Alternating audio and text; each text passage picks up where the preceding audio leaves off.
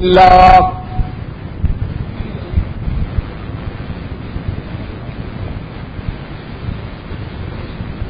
الحمد لله وحده والصلاة والسلام على من لا نبي بعده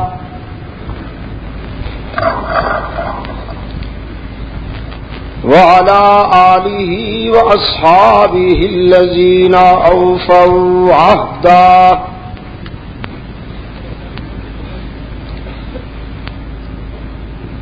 الذين هم مفاتيه الرحمة ومصابيه الغرل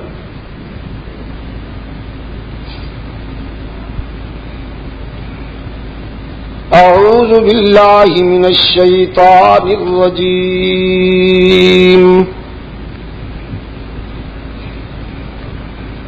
بسم الله الرحمن الرحيم.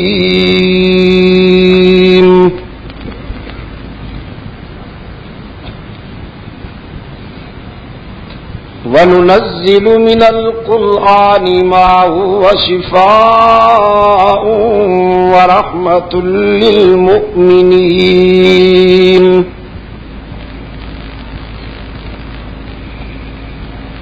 ولا يزيد الظالمين إلا خسارا.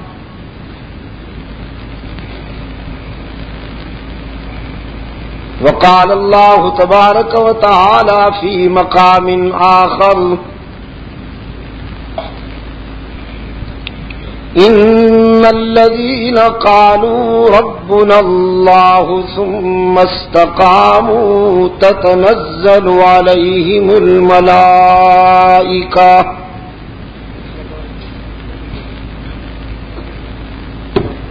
ألا تخافوا ولا تحزنوا وأبشروا بالجنة التي كنتم توعدون.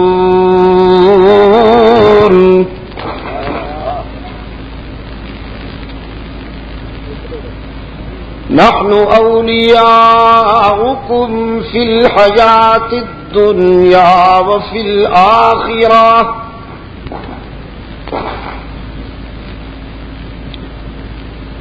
ولكم فيها ما تشتهي أنفسكم ولكم فيها ما تدعون.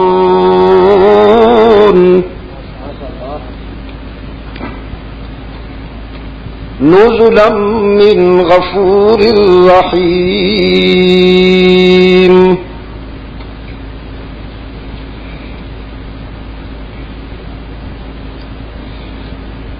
لقد كان في يوسف وإخوته آيات للسائلين.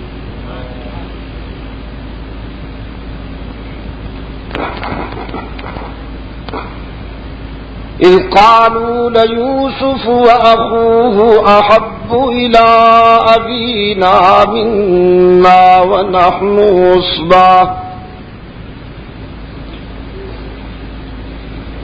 إن أبانا لفي زلال مبين.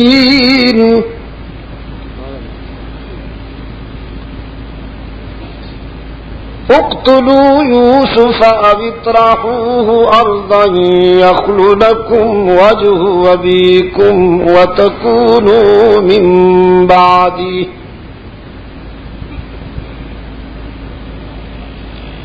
وتكونوا من بعده قوما صالحين.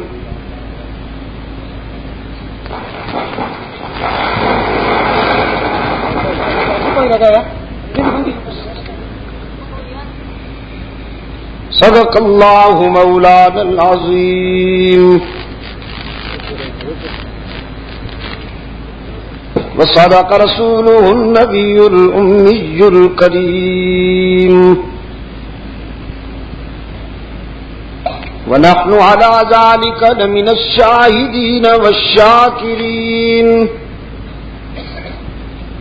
والحمد لله رب العالمين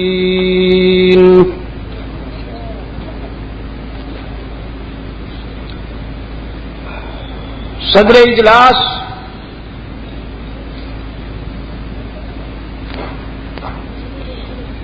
ارباب علم و دانش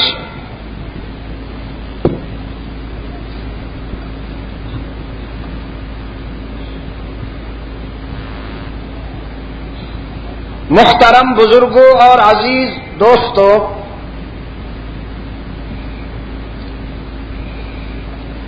مجلس تحفظ حقوق اہل سنت و جماعت پشاور کے زیر اہتمام دو روزہ عظمت قرآن کانفرنس کے اختتامی اجلاس سے چوک قصہ خانی پشاور میں آج ہم پانچ اگست انیس سو چھیاسی کو یہاں دعوت و تبلیغ کی نسبت سے جمع ہیں۔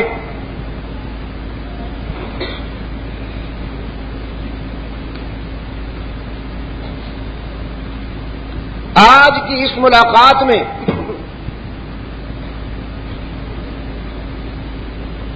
قرآنی عظمتوں کا تذکرہ کرتے ہوئے میں آپ کے ذہن نشین کرانے میں قرآن کریم کا ایک انقلابی تصور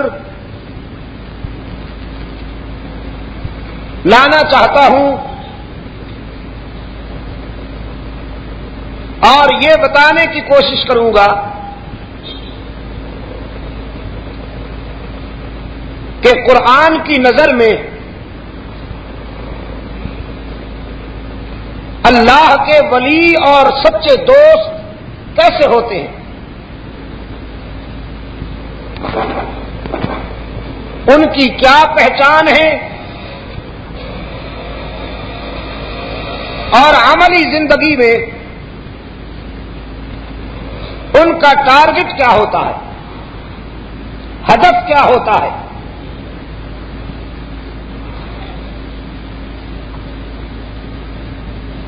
یہ اس لیے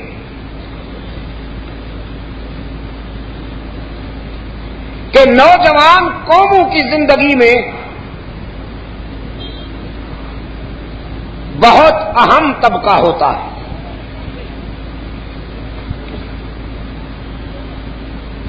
اور یہاں پاکستان میں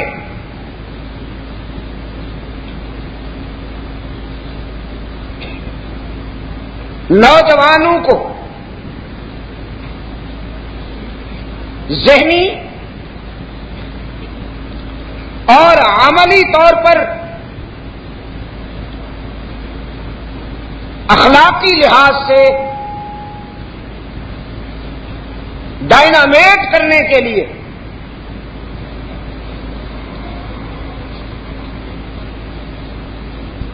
جو مہم چلائی جا رہی ہے اور سلو پوائزن پھیلایا جا رہا ہے، یہ بہت ضروری ہو گیا ہے کہ قرآن کے لہجے میں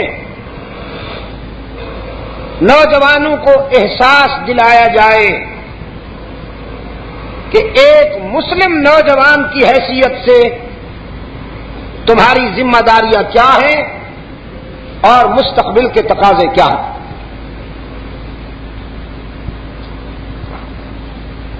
اگرچہ یہ کوشش ایک ہماگیر فتنے کے مقابلے میں جزوی کوشش لیکن بہرحال کوشش تو ہے۔ نمرود کے بھڑکائے ہوئے شولو کو بجھانے کی آرزو میں۔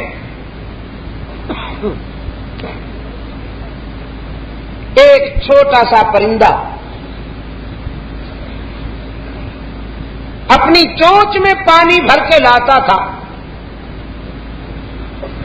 اور سلک بوس شولوں پر وہ پانی کی چونچ ڈالتا تھا۔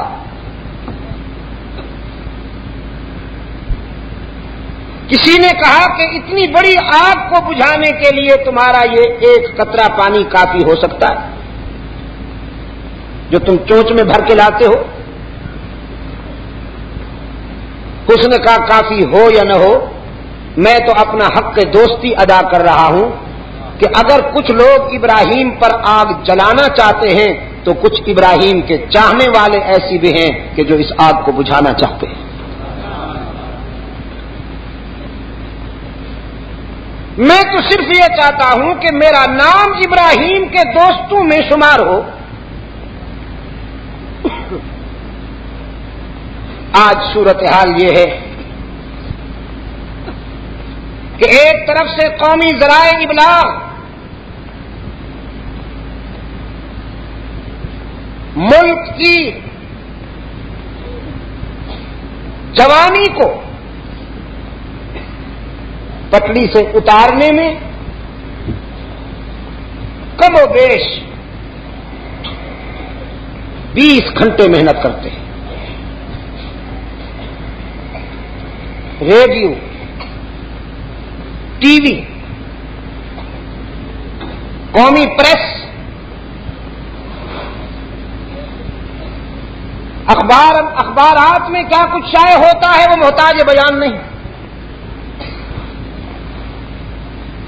کون سے رسالے زیادہ مقبولیت حاصل کرتے ہیں؟ یہ بھی محتاج بیان نہیں۔ ریڈیو پہ کیا کچھ نشر ہوتا ہے؟ محتاج بیان نہیں۔ ٹی وی نشریات کی پالیسیاں کیا ہیں؟ اور کیا کچھ قوم کے سامنے پیش کیا جاتا ہے؟ محتاج بیان نہیں۔ ایک طرف سے یہ سیلاب اور دوسری طرف سے عبد المجید ندیم شاہ صاحب کی دل سوزی۔ دست گلچی پھر رہا ہے شاخ گل پر بے دریک کون سنتا ہے چمن میں اندلی بیزار کی۔ لیکن ہم بہرحال اپنا فرض ادا کریں گے۔ آپ حضرات جو ہم سے یہ توقع رکھتے ہوئے کہ یہ ہمیں دینی رہنمائی کریں گے۔ اپنی نیندیں اور اپنا آرام قربان کر کے ان پروگراموں میں شرکت کرتے ہیں۔ اللہ آپ کو جزائے خیر عطا فرمائے۔ تو میری یہ خواہش ہے اور میری کوشش بھی۔ میرے رفقا کی یہ تمنا ہے کہ آپ میں سے کا ہر ایک نوجوان اپنے شاندار ماضی کا نمائندہ بن جائے۔ اور میں وسوخ سے کہتا ہوں، ذمہ داری سے کہتا ہوں کہ اگر اس ملک کا نوجوان طبقہ میری مراد یہ نہیں کہ سو فیصد نوجوان اگر یہ فیصلہ کر لے کہ ہم نے اس ملک میں برائی اور شر کی قوتوں کو مغلوب کرنا ہے اور انہیں چلنے نہیں دینا۔ تو یقین فرمائیے کہ اصلاح احوال شروع ہو جائے گی اور ایک بہتر مستقبل کی بنیادیں پڑ جائیں گی۔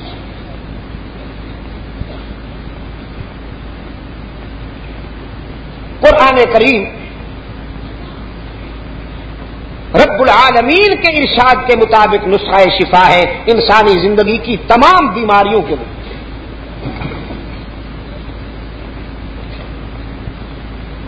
غلط ماحول اور سوسائٹی کی غلط روش انسان کو بیمار کرتی ہے اور قرآن کی وابستگی انسان کو صحت مند بناتی ہے۔ قرآن نے کیسے کیسے صحت مند پیدا کیے؟ انسانی تاریخ کا مطالعہ کیجیے قرآن کی ڈسپینسری میں جو لوگ آئے، وہ ابو بکر صدیق بن گئے۔ عمر فاروق بن گئے۔ عثمان ذنورین بن گئے۔ علی المرتضا بن گئے۔ طلحہ زبیر کہلائے۔ خالد بن ولید بن گئے۔ امر ابن آس اور سعد ابن ابی وقاص بن گئے۔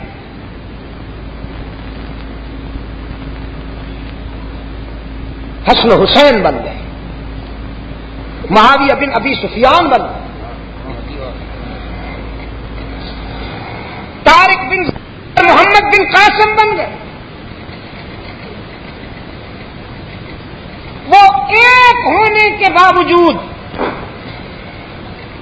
معاشرے میں برائی کے لاکھوں نمائندوں کی آنکھوں میں آنکھیں ڈالنے کا حوصلہ رکھتے تھے۔ انہوں نے بادشاہتوں کو للکارا۔ دنیا کی دو بڑی استحصالی قوتوں کا سیاسی جنازہ نکالا۔ قرآن کے تیار کردہ انسانوں نے۔ محمد عربی صلی اللہ علیہ وسلم کے مکتب سے تیار ہونے والے مثالی انسانوں نے دنیا کی دو بڑی طاقتوں کا سیاسی جنازہ نکالا۔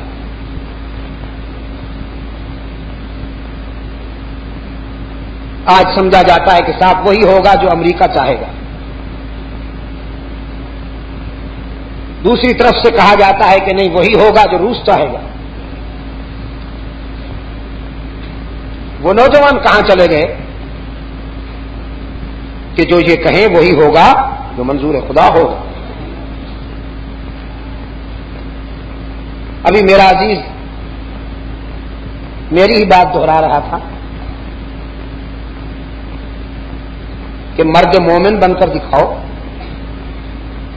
پھر تم قادر کے بندہ بنتے ہوئے بھی تقدیر کے نمائندہ کہلاؤ گے۔ لیکن یہاں تو جس طرح دوسری اصطلاحات کا استحصال ہوا ہے مرد مومن کی اصطلاح پہ بھی ایسے لوگوں نے قبضہ کر رکھا ہے کہ مومن ہونا تو بڑی بات ہے، مرد ہی نہیں۔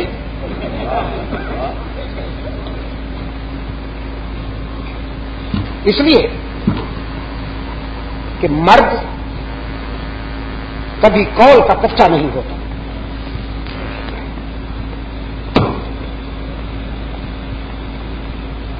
مرد کول کا پکا ہوتا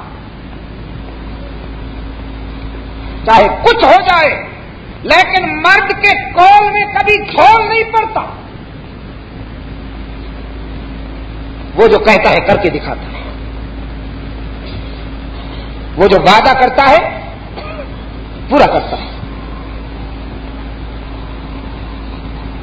اور مناسب کی جو نشانیاں بتائی گئی ہیں وہ یہ ہے کہ جھگڑالو ہوتا ہے، امانت میں خیانت کرتا ہے، اور جب وعدہ کرتا ہے تو اس کو پورا نہیں کرتا۔ وعدہ خلافی کرتا ہے، خائن ہوتا ہے، جھگڑالو ہوتا ہے۔ میرے عزیز دوست قرآن کے آئینے میں اللہ کے ولیوں کی جو پہچان بتائی گئی ہے، آج کی ملاقات میں میں یہ کوشش کروں گا کہ وہ پہچان میں آپ کے دل و نگاہ کی گہرائیوں میں اتار دوں، تاکہ میں آپ کو یہ بتا سکوں کہ اولیاء کرام کیسے ہوتے۔ فرمایا ان الذين قالوا ربنا الله یہ جنگل بات ہے۔ عام تجزیہ۔ ان الذين قالوا ربنا الله ثم استقاموا تتنزل عليهم الملائكه یقیناً وہ لوگ کہ جنہوں نے اعلان کر دیا کہ ہمارا رب اللہ ہی ہے۔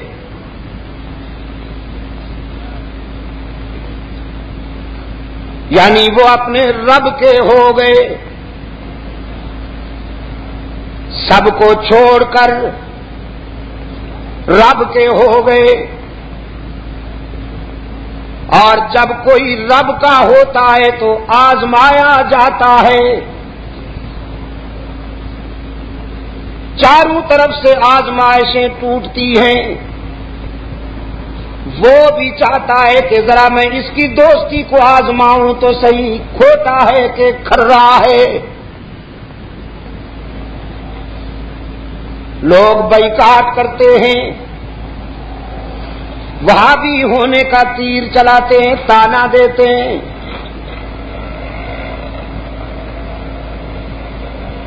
لا تنفقوا على من عند رسول الله حتى ينفضوا۔ سوشل بائیکاٹ ہوتا ہے۔ اپنے چھوڑ جاتے ہیں۔ بھائی بن ناراض ہوتے ہیں مفادات پستے ہیں۔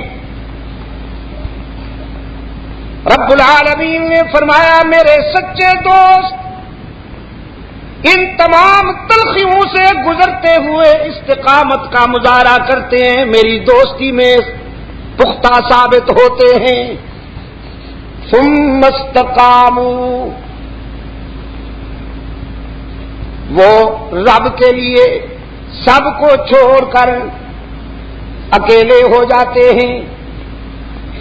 تتنزل علیہم الملائکہ۔ حق تعالی نے فرمایا، پھر ہم انہیں تنہا نہیں چھوڑتے۔ فرشتے قطار اندر قطار اتارتے ہیں ان کی تائید و حمایت میں۔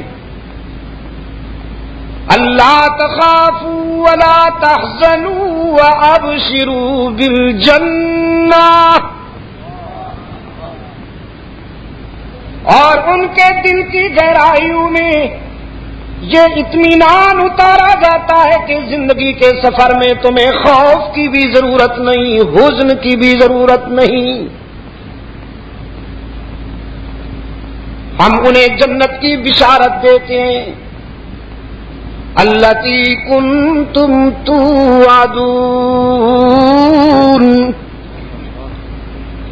جس کا ان سے وعدہ ہوا۔ اور انہیں یقین دلایا جاتا ہے نخنو اولیاؤکم فی الحیات الدنیا و فی الآخرہ گھبراؤ نہیں۔ لوگوں نے تم سے بیکاٹ کر دیا۔ لیکن ہم جو تمہارے یار ہیں، دنیا میں بھی اور آخرت میں بھی ہم تمہارے یار ہیں۔ وَلَكُمْ فِيهَا مَا تَشْتَهِي أَنفُسُكُمْ وَلَكُمْ فِيهَا مَا تَدَّعُونَ۔ دنیا میں تم نے اس طرح زندگی گزاری جیسے ہم نے چاہا۔ یہ آخرت ہے۔ یہاں ہم وہ کریں گے جو تم چاہو گے دنیا میں تم نے ہمیں خوش کر دیا۔ یہاں اقبا میں ہم تمہیں خوش کرنے کا فیصلہ کر چکے ہیں۔ جو تم چاہو گے وہی دیا جائے گا۔ نزلم من غفور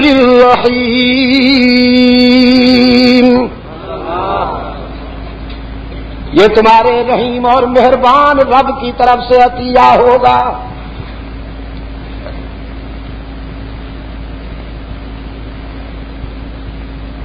اللہ کے دوستوں کی عام پہچان تو قرآن کریم نے ان الفاظ کے ساتھ کر دی جو آپ کے سامنے عرض کر چکا ہوں۔ اب حق تعالی نے اپنے پیغمبر سے فرمایا، میرے محبوب، ہم آپ کو ان چند نوجوانوں کی کہانی سناتے ہیں جو ہمارے دوست تھے۔ چند نوجوانوں کی کہانی، قرآن کی زبانی۔ فرمایا نخن علیہ کا نب بالحق۔ ہم آپ کو ان چند نوجوانوں کی کہانی سناتے ہیں جو ہمارے دوست تھے۔ ان فتیت وہ چند سجیدے نوجوان تھے۔ آبنو بربہم۔ ہمارے دوست بن گئے۔ وہ اللہ پر ایمان لائے۔ قرآن کہتا ہے وزد نا ہدا۔ ہم نے ان کے فکر و نظر میں ہدایت کے چراغ جلا دیے۔ ان کے دل کی دنیا میں رشد و ہدایت کے اجالے بھر دیے۔ وربت نالا قلوبہم ان کے دلوں میں بھی ربط پیدا کر دیا۔ انہیں ایک کر دیا۔ وہ کئی کالب یکجان ہو گئے۔ جسم تو ان کے کئی تھے، لیکن دل کی دھڑکن ایک ہو گئی۔ سب نے فیصلہ کر لیا کہ جب تک جیئیں گے، اس کی مرضی کے مطابق زندگی گزاریں گے اور شرک و بدت کی بنیاد نکالیں گے۔ شرک و بدت کی بنیاد؟ یہ قصہ خانے میں تمہیں کیا ہو گیا؟ بولتے کیوں نہیں ہے لاؤڈ اسپیکر تو ہمیشہ ایسا ہی ملتا ہے مجھے جو آج ملا ہوا ہے۔ لیکن آپ تو ماشاء اللہ خصوصاً قرآن سننے میں اللہ نے آپ کو جو ذوق اور دل کی روشنی بخشی ہے، اس کا اظہار تو ہونا چاہیے۔ اللہ والے شرک اور بدت کے حامی نہیں ہوتے، شرک و بدت کی بنیاد نکالا کرتے ہیں۔ قرآن کہتا ہے، ہم نے ان کے دلوں میں بھی ربط پیدا کر دیا۔ اس کام اور یہ ربط اس لیے کہ باطل کے مقابلے میں انہوں نے جہاد کرنا تھا اور مظلوم اس وقت تک ظالم کے مقابلے میں کامیاب نہیں ہو سکتے جب تک آپس میں ایک نہ ہو جائیں۔ ظالم ہمیشہ کوشش کیا کرتا ہے مظلوموں کو ناکام بنانے کی کہ ان میں رفٹ پیدا ہو جائے، اختلافات پیدا ہو جائیں۔ لیکن اہل حق روشن ضمیر ہوا کرتے ہیں۔ وہ منزل کو سامنے رکھتے ہوئے اپنے اندر افطراک و انشقاق کی کوئی کوشش کامیاب نہیں ہونے دیتے۔ یہ چند کردار۔ قرآن کریم نے جنہیں معیار بنا کر پیش کیا ہے اللہ کے ولیوں کا۔ نوجوان تھے اور پشاور کے روشن ضمیروں۔ یہاں اجم میں یہ سوچا جاتا ہے، ولی اللہ سفید ریش ہونا چاہیے۔ جب تک بالوں میں سیاہی ہو، کوئی اس کو نہیں مانتا۔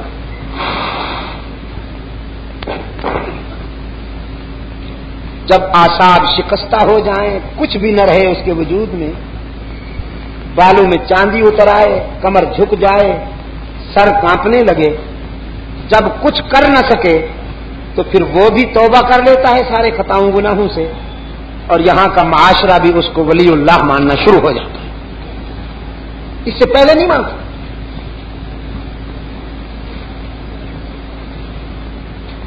میرے عزیز دوستوں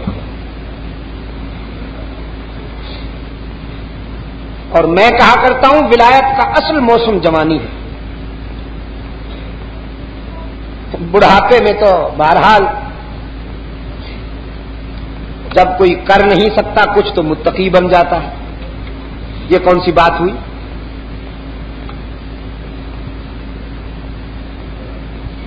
پھیریے کے منہ میں دانت ایک نہ رہا۔ حملہ کرنے کے لیے وجود میں قوت نہ رہی۔ سامنے بکری آئی تو بکری کو دیکھ کر بڑی شرافت اور بڑے زہد کے ساتھ چپ بیٹھا۔ کسی نے کہا، چھیڑتے کیوں نہیں ہو؟ بکری آئی ہوئی ہے تمہارے سامنے۔ کہنے لگا، اللہ سے ڈر لگتا ہے، آخر یہ بھی تو اللہ کی مخلوق ہے۔ ڈرنے کی بات ہے یا کچھ کر نہ سکنے کی بات ہے؟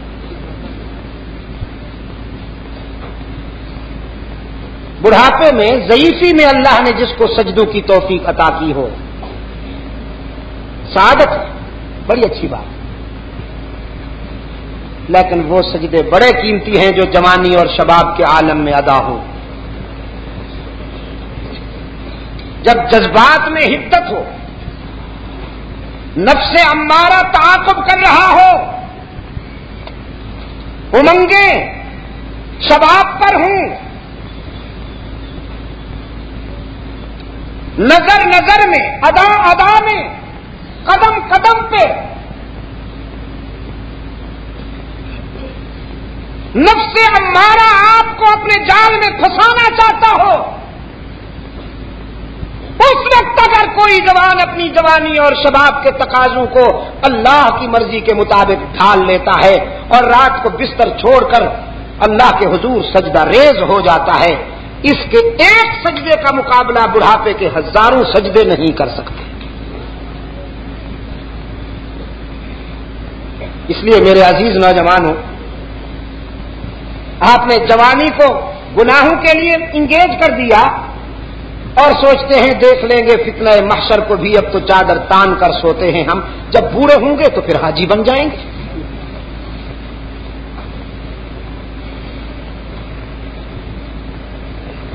جب نوجوان تھے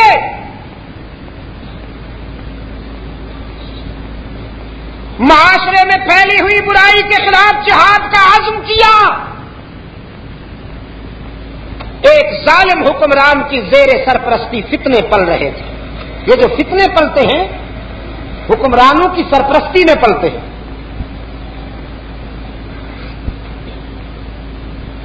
اگر برسر اقتدار طبقہ یہ نہ چاہے کہ فتنے نہ پلے کبھی نہیں پل سکتے۔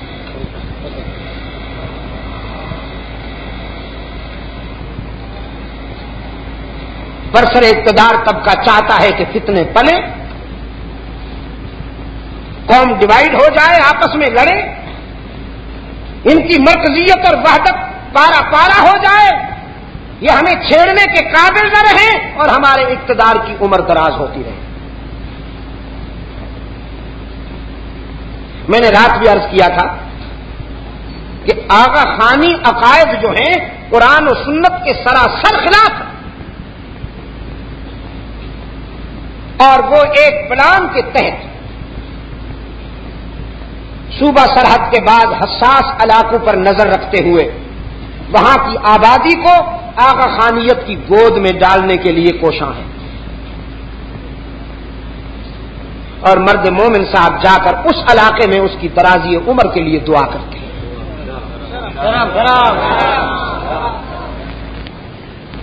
تاکہ یہ دیر تک زندہ رہے اور لوگ گمراہ ہوتے رہیں۔ آکبت کے جوتے اس کو تو جو پڑیں گے سو پڑیں گے لیکن اس کو اس سے بھی بڑے جوتے پڑیں گے جو اس کی درازی عمر کی دعا کرتا ہے۔ شیطانی رہنما کو روحانی پیشوا۔ ادھر بلوچستان میں مکران ڈویژن میں تربت اور پنجگور اور پسنی کے علاقہ میں میں ابھی ہو کے آیا ہوں۔ وہاں پر زگریوں کی کھیت ہے۔ وہ نماز کا انکار کرتے ہیں، حج کا انکار کرتے ہیں زکات کا انکار کرتے ہیں، مسجد کا انکار کرتے ہیں۔ اپنا ایک انہوں نے کعبہ بنا رکھا ہے، کوہ مراد کے نام سے ان نامرادوں نے۔ اور حضرت کے ان کے ساتھ بھی بڑے گہرے مراسم ہیں۔ حضرت کی کیا بات ہے؟ فرمایا، رقیبوں سے بھی رسم و راہ، مجھ سے بھی شناسائی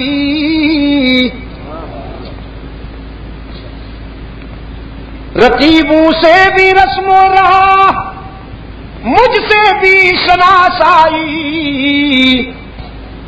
ادا سرکار کی اپنی سمجھ میں تو نہیں آئی۔ تم ہو کس کے؟ بریلویوں کے ہاتھ چومتا ہے، وہ سمجھتے ہیں ہمارا۔ ہے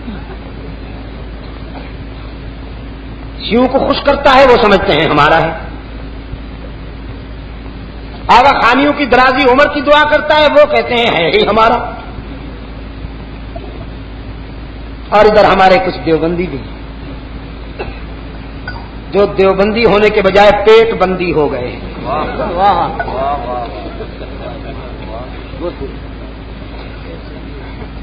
جن کا اس دور میں خاص طور پر سائز بڑھا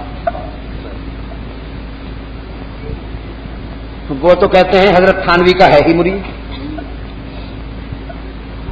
اور سچی بات یہ ہے کہ وہ صرف اقتدار کا مرید ہے۔ کسی کا نہیں۔ سب خوش ہیں۔ جب حکمران چاہے کہ یہ فتنے پلے تو پھر فتنے پھیلتے ان کے سب بعد میں پھر معمولی آوازیں کبھی کارگر نہیں ہوا کرتی۔ ان کے خاتمہ کے لیے پھر ایسے ہی نوجوانوں کی ضرورت پڑتی ہے جو اپنی زندگی، اپنے مفادات، اپنا سکون تاؤ پہ لگا کر ہر کے بعد آباد کا نعرہ مستانہ بلند کرے اور ان فتنوں کو تحس نحس کر سمجھانے کی بات ہے کہ محمد الرسول اللہ ہی ہماری متائے زیست سمجھانے کی بات ہے کوئی؟ کیونکہ اللہ کے رسول تو بہت ہیں، لیکن ہم کس کے غلام ہیں؟ محمد الرسول اللہ یا رسول اللہ کے معنی ہیں؟ اے اللہ کے رسول۔ یا رسول اللہ کے کیا معنی ہیں؟ اے اللہ کے رسول۔ اللہ کے رسول کتنے ہیں؟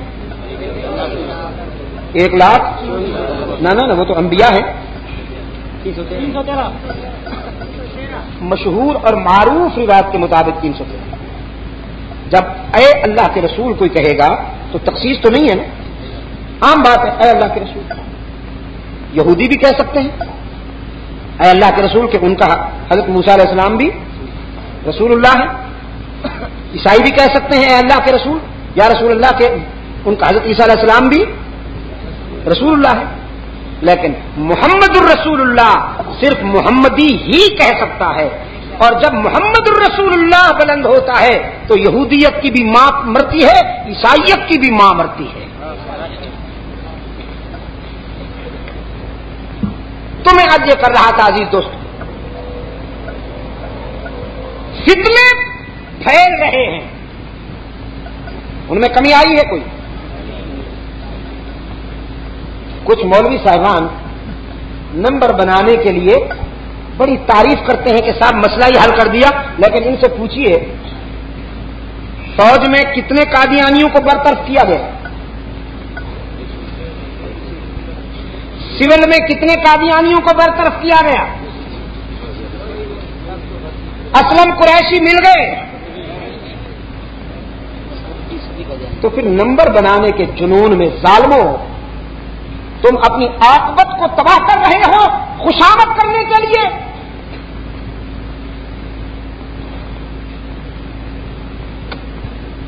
نمبر بنانے کے جنون میں میں نے رات بھی عرض کیا تھا۔ بات واضح کر دینا چاہتا ہوں۔ قوم اس وقت مطمئن ہوگی جب فوج سے، سول کے اہم عہدوں سے قادیانیوں کو چن چن کر نکالا جائے۔ ان کی جماعتی سرگرمیوں کو غیر قانونی قرار دے کر پاکستانی قانون اور دستور کے پابندی پر مجبور کیا جائے اور خلافت صدیقی میں ہونے والے فیصلوں کے مطابق قدم اٹھایا جائے۔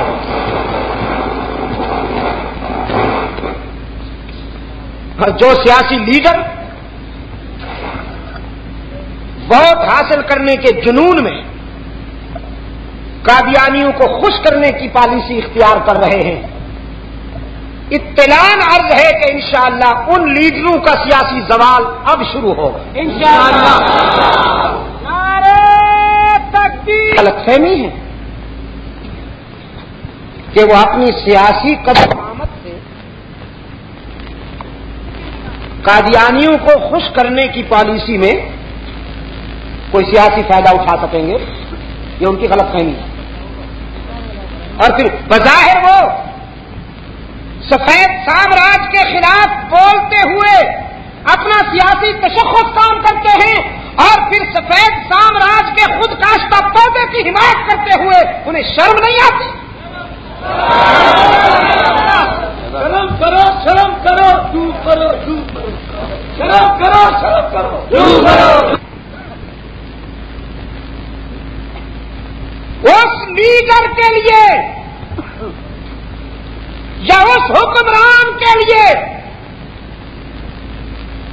پاکستان جیسی سرزمین پر کوئی گنجائش نہیں جو قادیانیوں کی حمایت کا مجرم ہوگا۔ اسے منہ کی کھانی پڑے گی۔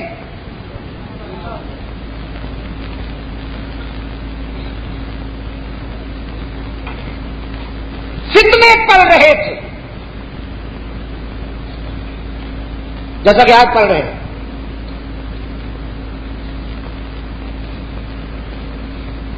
آپ نے سنا ہے کبھی کسی آگا خانی پہ پابندی لگی ہو؟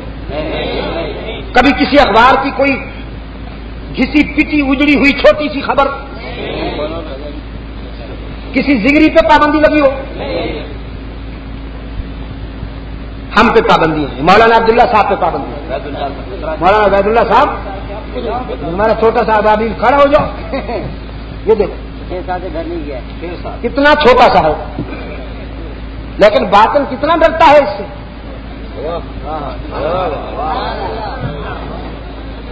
اور شاہ کرو زے ہو زغن۔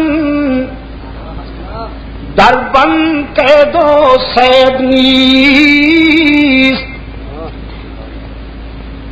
شاہ پرو زے در بند کے دو سعادت قسمت شہباز و شاہی کردان۔ آپ نے کبھی کسی کوے کو پنجرے میں بند نہیں دیکھا ہوگا۔ موٹا کما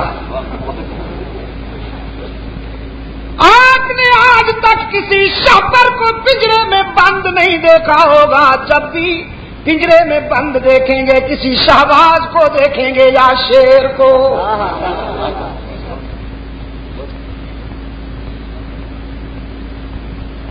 ہمارے خلاف پابندیاں ہوتی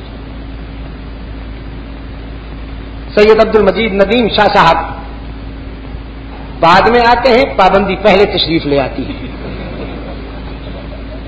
محترمہ و مکرمہ پابندی صاحبہ۔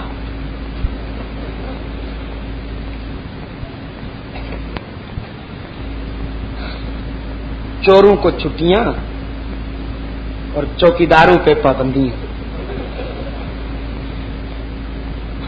اور ٹپکتی ہے اداؤں سے، برستی ہے نگاہوں سے۔ ٹپکتی ہے اداؤں سے، برستی ہے نگاہوں سے۔ عداوت کون کہتا ہے کہ پہچانی نہیں جاتی؟ میں کہتا ہوں محبت کون کہتا ہے کہ پہچانی نہیں جاتی؟ جس سے محبت ہو، وہ بھی بولتی ہے، اور جس سے عداوت ہو، وہ بھی بولتی ہے۔ یہ جذبہ ہی ایسا ہے کہ چھپ نہیں سکتا۔ محبت کن سے ہے؟ صاف ظاہر ہے۔ اور عداوت کن سے ہے؟ وہ بھی صاف ظاہر اور جیسا کہ ابھی ہمارے مدنی صاحب فرما رہے تھے، پہلے بھی اللہ کے فضل و کرم کے ساتھ ہم نے یہ صرف کہا نہیں کر کے دکھایا ہے کہ اگر پابندی لگی ہے تو اس کے خلاف ورزی کی، اس کو توڑا کہ نہیں توڑا؟ یہی توڑا کہاں ہے قاسم علی مسجد۔ حضرت مفتی صاحب رحمۃ اللہ علیہ والی۔ ساتھ ہے نا؟ اس کے اس کے در و دیوار گواہ ہے وہاں ہم نے یہی پابندی کو نوازا تھا۔ چلو، توڑنے کا لفظ استعمال نہیں کرتے۔ پابندی کو ہم نے نوازا تھا۔ اور اب بھی اگر ہمارے خلاف کوئی پابندی عائد کی گئی، تو انشاءاللہ اس کی ذات پہ بھروسہ کرتے ہوئے اس کو ہم ریزا ریزا کریں گے اس پابندی کو تسلیم نہیں کریں گے جو ہمارے راستے میں رکاوٹ بنے گی۔ تو بدت کے جراثیم چن چن کر یہاں پھیلاتے ہو۔ لاہور سے ٹی وی اناؤنسر بلا کر یہاں انہیں مفکر اسلام بناتے ہو۔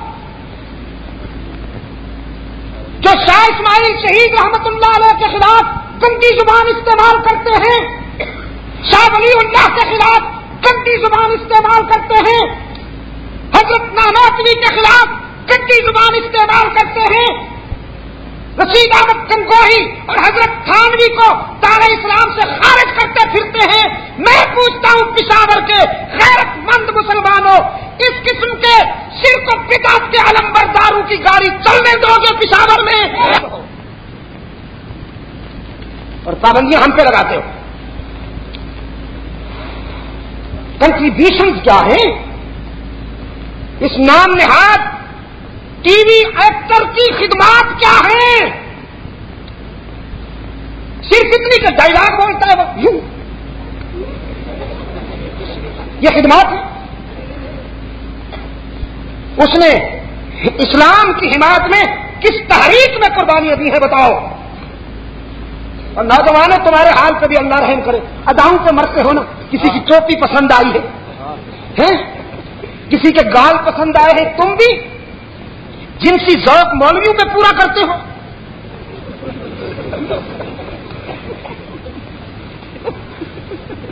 ابھی حضرت نے مجھے اشتہار دکھایا، یہ جو میرے حضرت بیٹھے نا، ہمارے کمینت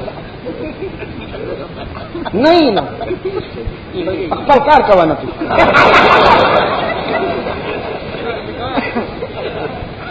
ہم ہمیں کیوں اس میں ملوث کرتے ہیں؟ ان کو یہاں صوبہ سرحد کے، صوبہ سرحد کے فکری روایات کو بدلنے کے لیے ایک منصوبے کے تحت انہیں یہاں لایا جا رہا ہے۔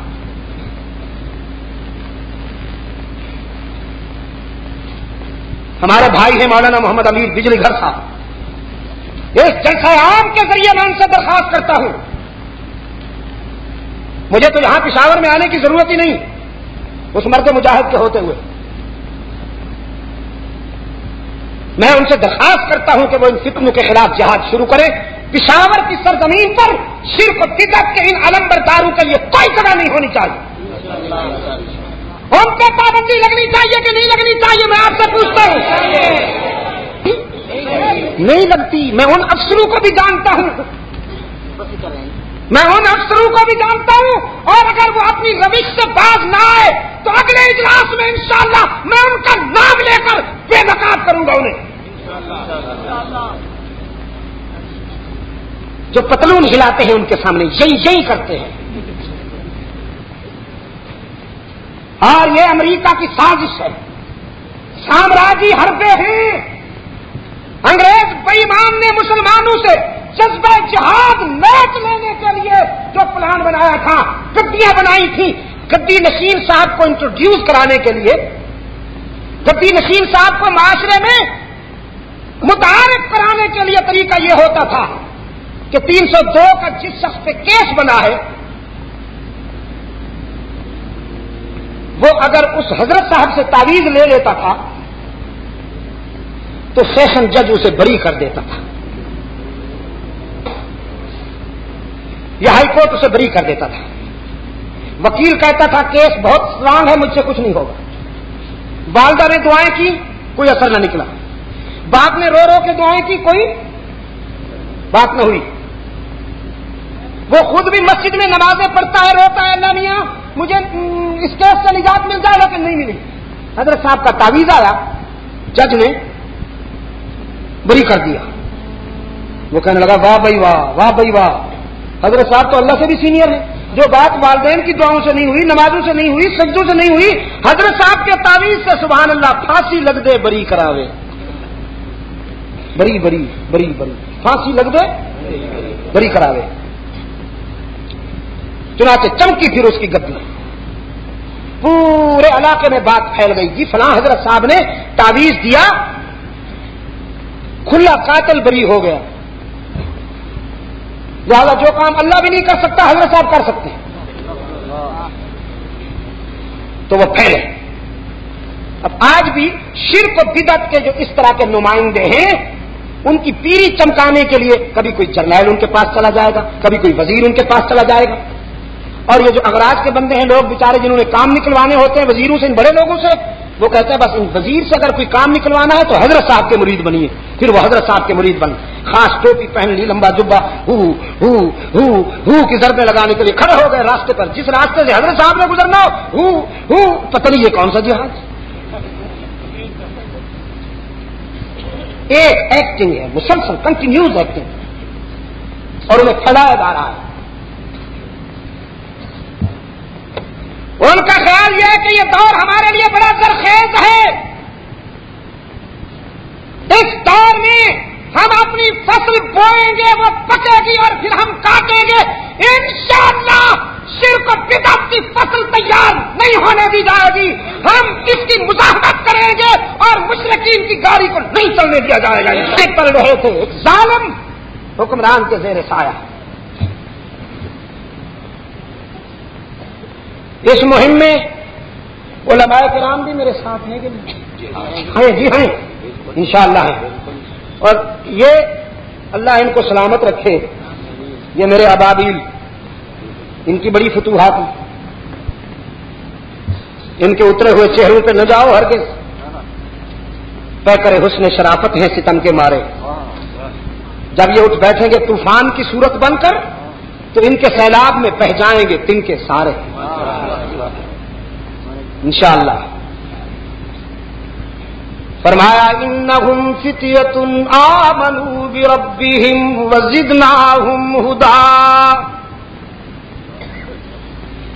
وربطنا على قلوبهم اذ قاموا فقالوا ربنا رب السماوات والارض اس ظالم اور بدعقیدہ حکمران کے اقتدار کی سرپرستی میں آستانہ پرستی عروج پر تھی۔ میلہ لگا ہوا ہے۔ قوم کے مختلف طبقے اپنے اپنے خدا ساتھ لائے ہوئے ہیں۔ کسی کا چھوٹا، کسی کا بڑے سائز کا خدا۔ کسی نے کندھے پہ اٹھایا ہوا ہے، کسی نے سر پہ اٹھایا ہوا ہے، کسی نے جیب میں رکھا ہوا ہے، کسی نے آستین میں لٹکایا ہوا ہے۔ جھنڈیاں لہرا رہی ہیں۔ اور گدی نشین لمبے لمبے جبے پہن کر بیٹھے ہیں۔ کہا جا رہا ہے، کچھ لے کے آؤ گے تو کچھ لے کے جاؤ گے، خالی ہاتھ آؤ گے تو۔ کالی ہاتھ جاؤ، نذرانے۔ نذرانے نچھاور کیے جا رہے ہیں۔ دور سے لوگ چھپتے ہوئے ان گدی نشینوں کے پاؤں آ کر چومتے ہیں، ان کے سامنے سر جھکاتے ہیں۔ یہ صحیح فطرت کے نوجوان اللہ نے جنہیں حق کی سربلندی کے لیے منتخب کر لیا تھا، اللہ کے سچے دوست، اولیاء کرام۔ انہوں نے اس اندھیری رات میں روشنی کا چراغ جلایا، انکار کر دیا، ان آستانوں پر سر جھکانے سے۔ نعرہ لگایا، ربنا رب السماوات والارض۔ ہم تمہارے خود ساختہ آستانوں پر سر نہیں جھکائیں گے۔ ہم تو رب السماوات والارض کے سامنے جھکنے والے ہیں۔ کیس دائر ہوا، مقدمہ دائر ہوا۔ ظالم حکمران کی عدالت میں یہ چند نوجوان گرفتار ہو کر آئے۔ رقیبوں نے رپٹ جا جا کے لکھوائی ہے تھانے میں کہ یہ طبقہ نام لیتا ہے خدا کا اس زمانے میں گرفتار ہو کر آئے ہیں بادشاہ کی عدالت میں۔ بادشاہ نے نوجوانوں سے کہا، تم نے قومی روایات سے بغاوت کی۔ تم قومی مجرم ہو۔ تم ہمارے خداؤں کو نہیں مانتے، ہمارے آستانوں کی نفی کرتے ہو۔ تمہارا کیا عقیدہ ہے؟ سب نوجوانوں نے ایک ہی آواز کے ساتھ اپنا نقطۂ نظر بیان کیا، ربنا ربنا رب السماوات والارض، لن ندعو من دونه الہ سوا ہم کسی کو اپنا معبود نہیں مانیں گے۔ وہی ہمارا مسجود وہی سچا معبود وہی ہر جگہ موجود وہی علام الغیوب وہی کارساز وہی دستگیر وہی حاجت روا وہی مشکل کشا وہی بیماریاں دور کرنے والا وہی مرادیں پوری کرنے والا کون؟ صحیح جواب دیا آپ نے۔ کہ کرسی والوں کو پتہ نہیں کیا ہو گیا، وہ تو چپ ہی بیٹھے۔ چیئرمین ہے چیئرمین صاحب ہیں۔ کیوں حضرت جی؟ یا اللہ۔ حضرت تو خود چیئرمین۔ ہم نے چاہا تھا کہ حاکم سے کریں گے فریاد۔ وہ بھی تمہارا چاہنے والا نکلا۔ ہماری زمین کی آجزیوں کے لیے سچا مسجود۔ اللہ ہی، اللہ۔ بڑا لمبا کھینچا آپ نے، لیکن اللہ ہی۔ اٹک کے پل سے جراثیم آ رہے ہیں، بیماریاں آ رہی ہیں بھی کی۔ پشاور والوں ہی کے چراغ جلاؤ تاکہ بھی کے بیمار۔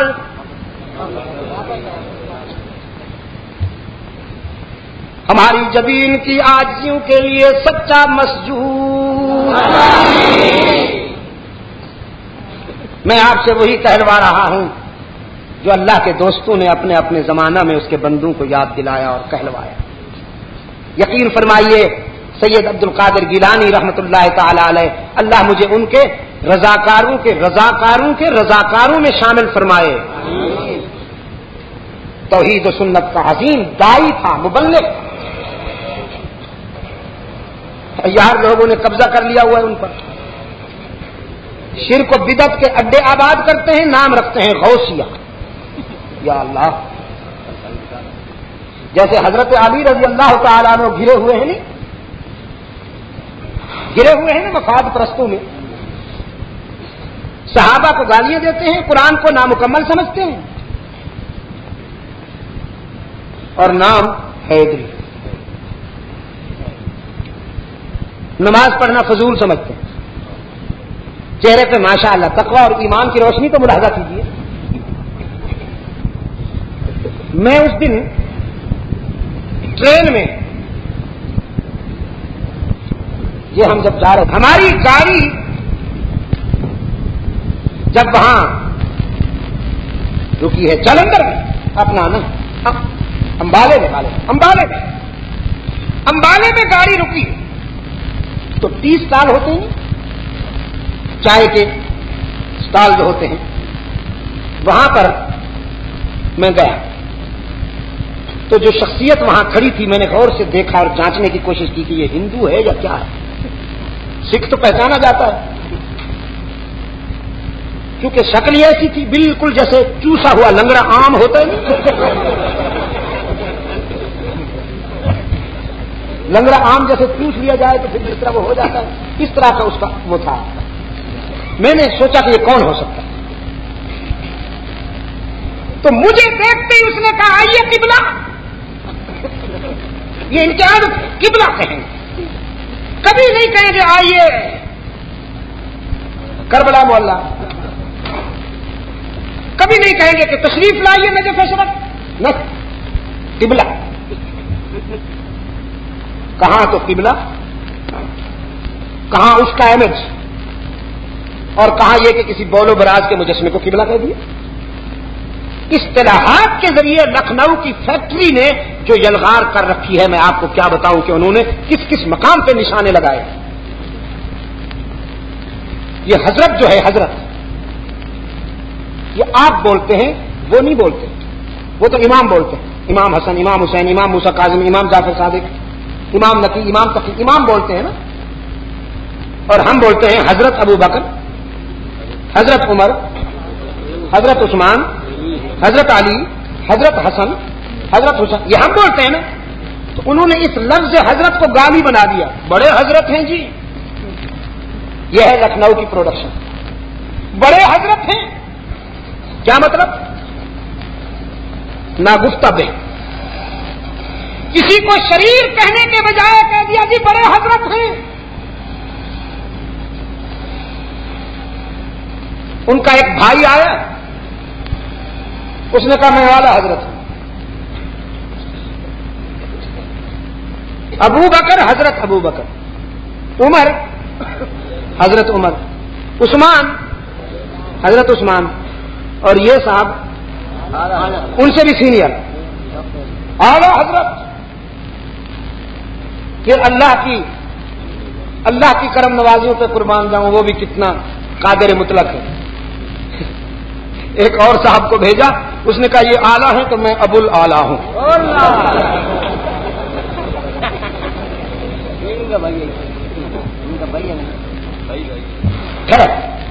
یہ تو یہاں کے تضادات ہیں۔ مجھے اس نے کہا، قبلہ آئیے، چائے پلاؤں۔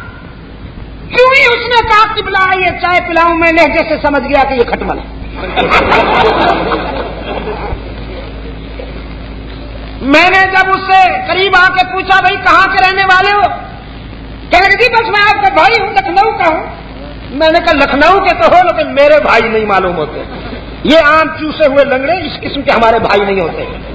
ہمارے بھائی تو وہ ہوتے ہیں جن کے چہرے پہ صحابہ کی اور اہل بیت کی محبت کی روشنی چمک رہی ہے۔ جس کو دیکھتے ہی اندازہ ہو جائے کہ یہ صدیق اکبر کا رضاکار ہے، فاروق اعظم کا رضاکار ہے، عثمان سنو رین کا رضاکار ہے، علی المرتضا کا شدائی اور رضاکار ہے، حسن حسین کا رضاکار ہے۔ میرے بھائی ایسے نہیں ہوتے۔ تو میں نے کہا، لکھنؤ سے ہو؟ کس طبقے سے تعلق رکھتے ہو؟ بولی بس حسینی ہوں تو وہاں میں نے کہا ذرا آئینے میں اپنا چہرہ دیکھ لیں۔ حسینی ایسے ہوتے۔ ہیں عزیز دوستوں چہروں سے بھی پہچانے جاتے ہیں۔ چہرے جو ہوتے ہیں، یہ انڈیکس ہوتا ہے انسان کے ہاتھ کا دل کی کیفیات کا۔ سورت الرجل تدل علی سیرت تو میں آج یہ کر رہا تھا آپ کی خدمت میں کہ یہاں بیماریاں بہت آ رہی ہیں۔ تو ہی کے ذربے ذرا ایمان کی قوت سے لگائیے تاکہ بھی کے بیماروں کو اللہ شفا کاملہ عطا فرمائے۔ اور اگر شفا نہیں ملتی انہیں، تو آپ کی ہی کی ضرب میں اتنی حدت ہو کہ وہ پسپا ہونے پر مجبور ہو جائیں۔ فرمایا، ربنا رب السماوات والارض فقالوا ربنا رب السماوات والارض لن ندعو من دونه إلها. لقد قلنا إذا شططا. ہم نے اس کے ساتھ اگر کسی بندے کو شریک بنا لیا تو بے وفائی ہوگی نا انصافی ہوگی۔ ہم نے طے کر لیا ہے، سارے صدمے اٹھائیں گے، ساری مصیبتیں اٹھائیں گے، رشتے توڑیں گے، تعلقات چھوڑیں گے، لیکن اس سے بے وفائی نہیں کریں گے۔ ہماری زمین کی آجزیوں کے لیے سچا مسجود۔ ہی پہ ضرب لگا کر ذرا دائیں بائیں دیکھتے ہوئے کوئی بھی کا بیمار چپ بیٹھا ہو تو اس سے بھی کہلوائیے ذرا بائیں پسلی میں چوٹ لگا کر۔ ہماری زمین کی آجزیوں کے لیے سچا مسجود۔ چیئرمین حضرات، آپ بھی ذرا، آپ کا ہی یہاں پہنچے ذرا میرے پاس۔ انسانی زبین کی آجزیوں کے لیے حقیقی مسجود۔ ہر جگہ موجود۔ علام الغیوب اللہ ہی یا اللہ بھی علام الغیوب کار سازو دستگیر، حاجت رواؤ مشکل کشا، عزت دینے والا، رزق دینے والا، بیماریاں دور کرنے والا، اولاد عطا کرنے والا، مرادیں پوری کرنے والا، بغیر کچھ لیے سب کچھ دینے والا نظرانہ لیے بغیر بھی راضی ہو جانے والا۔ باقی جہاں جاؤ گے لوٹے جاؤ گے پشاور والوں باقی جہاں جاؤ گے لوٹے جاؤ گے دکانیں سجا رکھی ہیں، یا لوگوں نے زلفیں بڑھا رکھی ہیں۔ خصوصی اسٹائل بنا رکھے ہیں۔ اور وہ کہہ رہے ہیں، کچھ لے کے آؤ گے تو کچھ لے کے جاؤ گے، خالی ہاتھ آؤ گے تو۔ صاحب کی خدمت کرنی چاہیے۔ لیکن رب العالمین کے در رحمت سے ہر وقت پکار ہوتی ہے، کچھ نہ لے کے آؤ، سب کچھ لے کے جاؤ۔ خالی ہاتھ آؤ، دامن بھر کے جاؤ۔ فرمایا، باز آ باز آ۔ ہر آچ ہستی باز آ۔ کر کا پھرو گبرو بت پرستی باز آ۔ درگہ ماں، درگہ نومی دی سد بار اگر تو بس کستی باز آ۔ او خطا کار او گناگار اگر سو مرتبہ توبہ کر کے توڑ دی۔ نبھا نہیں سکا۔ لا تیسو مر روح اللہ۔ لا تقنتو مر رحمت اللہ۔ تو ایک مرتبہ پھر میرے در پہ آ کے دیکھ۔ جبین نیاز جھکا کے دیکھ۔ طلب کے دامن پھیلا کے دیکھ۔ ندامت کے اشک بہا کے دیکھ۔ میرے لطف و کرم کو آزما کے دیکھ تیرے آنے میں دیر ہے، میرے راضی ہونے میں دیر نہیں ہوگی۔ کبھی احساس ندامت میں اس کے در پہ آنسو تو بہا، مگر یہ آنسو بھی سب کو نصیب نہیں ہوتے۔ ہیں یہ بھی اسی کو نصیب ہوتے ہیں جس پہ وہ کرم کرتے ہیں۔ سرکار دو عالم صلی اللہ علیہ وسلم نے فرمایا، دو قطروں پہ جہنم کی آگ حرام ہے۔ شہید کے جسم سے ٹپکا ہوا خون کا قطرہ اور گناگار کی آنکھ سے بہتا ہوا ندامت کا آنسو۔ کیا کہا مولانا رومی نے؟ فرمایا، تان گرید ابر کہ خندد چمن۔ تان گرید ابر کہ خندد چمن۔ تان گریت طفل کے جو شد لبن۔ جب تک بادل نہ روئے تو گلشن نہیں مہکتے۔ یہ بارش کو بادلوں کا رونے سے تشبیح دی انہوں نے۔ وہ استعارہ ہوتا ہے نا شاعری میں ایک۔ فرمایا تان گریت اب کل رو رہے تھے نا بادل۔ لیکن کتنا کرم کیا اس نے۔ مجھے یہاں سے ایک خط گیا تھا۔ کسی بیمار کا۔ اللہ اسے صحت کاملہ نصیب فرمائے۔ وہ کہنے لگا، اصل میں دو تین دفعہ یہاں میرا آنا ہوا تو بارش ہو گئی۔ ہمارے گھر سے مثلا جہانگیر پورا میں، ہمارے عزیز نوجوانوں نے بڑی محنت کی۔ اینڈ ٹائم پر ایسی بارش ہوئی کہ ہمیں اللہ کے گھر میں پناہ لینی پڑی۔ اپنا مدنی مسجد میں اس نے خط لکھا۔ کہ دیکھا، وہابیوں، اب بھی تم نہیں سمجھتے ہو۔ صرف ہم ہی تمہارا راستہ نہیں روکتے، بلکہ جب تم آتے ہو تو بادل بھی تمہارا راستہ روکتے ہیں۔ وہ کل جو میں نے ارض کیا تھا کہ ہم جب یہاں آتے ہیں تو کچھ لوگوں کو خارش ہوتی ہے، اوپر سے بارش ہوتی ہے۔ تو میں نے کہا، بہرحال اللہ کا کرم ہے، بارش کو تو اللہ کے رسول صلی اللہ علیہ وسلم نے اللہ کی رحمت کا مظہر قرار دیا ہے، باران رحمت لیکن تمہارے راستے میں جو رکاوٹیں آ رہی ہیں اور آئیں گی انشاءاللہ، وہ تو تم یاد کرو گے۔ کل جب پھر بارش ہوئی تو دوستوں نے وہاں ہنگو میں جا کے کہا، جا شاہ صاحب، پشاور تو جل تھل ہے۔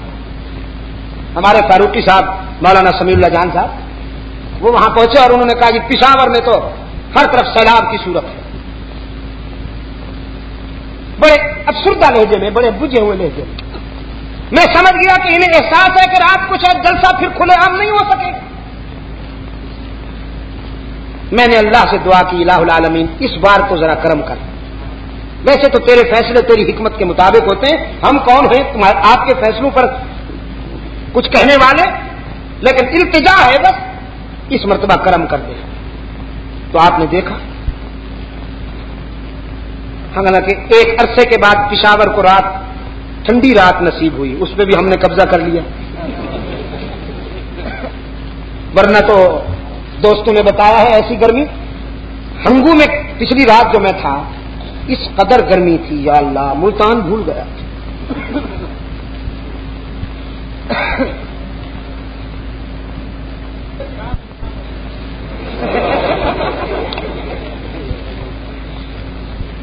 تاریخ بدل چکی۔ پانچ کو بات شروع ہوئی تھی، چھ ہو گئی۔ اب بھی نہیں مانتے۔ اب بھی نہیں مانتے۔ میں نے کہا، ہمارے اسناف کی بھی کچھ روایات ہیں۔ کہا جاتا ہے کہ صاحب حضرت شاہ جی رحمت اللہ علیہ اشا کے بعد تقریر شروع کرتے تھے، صبح تک جاتی تھی۔ میں نے کہا، آنے والے لوگ کچھ ہمیں بھی یاد کریں گے۔ ایک مولانا عبد المجید ندیم شاہ صاحب ہوتے تھے۔ پانچ تاریخ کو تقریر شروع کرتے تھے، چھ تک جاتے تھے۔ تو ہمیں بھی یاد رکھا جائے گا کہ نہیں؟ فرمایا تانگریت ابر کہ خندت چمن۔ جب تک بادل نہ روئے تو پھول نہیں کھلتے۔ بادل روتے ہیں تو پھول کھلتے ہیں۔ جب تک بچہ نہ روئے تو دودھ نہیں ملتا۔ تان گریت تفل کے جو شد لبن۔ پھر مولانا نے مثال دیے فرمایا، تان گریت کودا کے حلوا فروش۔ تان گریت کودا کے حلوا فروش۔ رحمت حق ہم نمی آیت بجوش۔ اگر وہ حلوہ بیچنے والا بچہ نہ روتا تو اللہ کی رحمت کیسے جوش میں آتی؟ بادل برستے ہیں تو پھول کھلتے ہیں، بچہ روتا ہے تو دودھ ملتا ہے گناگار روتا ہے تو اللہ کی رحمت بے قرار ہو جاتی ہے۔ ایک صاحب اور ایک صوفی کا واقعہ بیان کیا مولانا جلال الدین نے۔ فرماتے ہیں، تھے تو بڑے نیک لیکن خوش خوراک بہت تھے۔ خوب کھاتے پیتے تھے۔ بازار میں گئے، پانچ کلو گوشت لے آئے۔ کڑھائی بنائی اور خوب کھا رہے تھوڑی دیر کے بعد حلوہ بیچنے والا آ گیا، اس سے پوری پلیٹ بھر کے لے لی۔ فرنی بنائی، قورمہ بنایا۔ نہ معلوم کیا کیا بنایا۔ اور جب لوگ کہتے آپ اچھے اللہ والے ہیں، اس قدر آپ کھاتے ہیں۔ تو فرماتے تھے، جنت میں نعمتیں ملنے والی ہیں، اگر ابھی سے ریہرسل نہ کی تو وہ کیسے کھائیں تعویل کے تو بادشاہ ہوتے نہیں۔ تو جب اتنے خوش خوراک تھے تو پھر قرض بھی لینا پڑتا تھا۔ محلہ والوں کے اکثر مقروض رہتے تھے، طبیعت خراب ہو گئی حضرت کی۔ بڑے سنجیدہ علیل ہو گئے، بیمار ہو گئے۔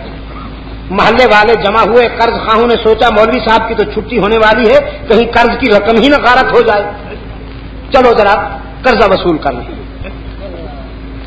محلے والے جمع ہو کر آئے حضرت صاحب سے قرضہ وصول کرنے کے لیے۔ حضرت نے جو ہی دیکھا قرض خواہ آ رہے ہیں، چادر تان کر سو گئے۔ بالکل اس طرح کے جیسے جان نکل چکی ہو۔ لوگوں نے آ کر السلام علیکم کہا، کوئی جواب نہیں۔ پاؤں کو چھو کے دیکھا، بالکل ساکت قریب بیٹھ گئے، ایک دوسرے کو غور سے دیکھنے لگے، وہ قرض خواہ کہنے لگے، حضرت صاحب تو بولتے ہی نہیں۔ باتوں باتوں میں ایک صاحب کہنے لگے جی قرضہ بہت ضروری ہوتا ہے۔ یہ بہرحال ادا کرنا چاہیے۔ ورنہ حشر کے میزان میں ساری نیکیاں، ساری عبادت، سارے سجدے، سارا علم اس کو دے دیا جائے گا جس کا قرضہ ہوگا۔ بہت ضروری ہے قرضہ۔ لیکن حضرت صاحب پہ کوئی اثر نہیں ہو رہا ان باتوں کا۔ ساری باتیں ہزم بولتے ہی نہیں، خاموش پڑے ہیں۔ اتنے میں گلی سے کوئی بچہ گزرا اور اس نے زور سے آواز بلند کی، حلوہ فروش آ گیا۔ حلوے کا نام سنتے ہی حضرت نے چادر ہٹائی ہوش میں آ گئے۔ کہنے لگے اس کو بلاؤ۔ وہ لڑکا بلا لیا گیا، حلوے سے بھرا ہوا تھال اس کے ہاتھ میں تھا۔ صوفی صاحب نے پوچھا، میاں، یہ کتنا ہے؟ اس نے کہا جی ابھی تک تو کسی نے لیا ہی نہیں، پورا تھال ہے۔ فرمایا، یہ سب ان کو دے دو۔ یہ جو بیٹھے ہوئے نہیں، قرض خواہ میرے، سب ان کو کھلا دو۔ وہ ایک دوسرے کی طرف دیکھ کے کہنے لگے، قرضے کی رقم تو دیتے نہیں، چلو، حلوہ تو کھلاتے ہیں لکما تر سے ہی اس نے حلوہ سب میں تقسیم کر دیا، کچھ حضرت صاحب نے بھی کھا لیا۔ جب سب حلوہ کھا چکے تو حسب صاحب حضرت نے پھر چادر تان لی اور سو گئی لڑکے نے کچھ دیر کے بعد رونا شروع کیا جی میرے پیسے!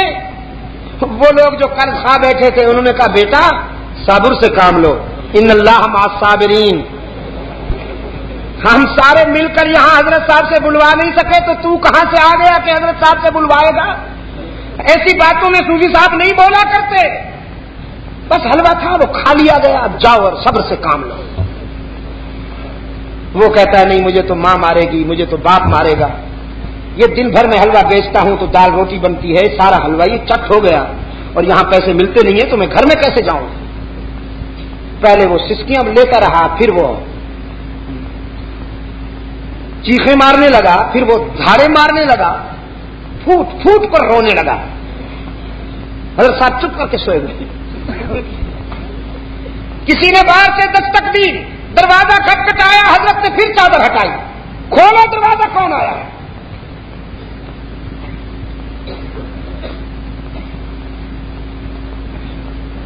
دروازہ کھولو، کون آیا ہے؟